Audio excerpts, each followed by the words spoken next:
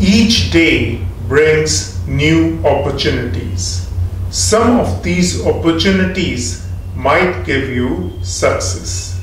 After finding success, help others find success.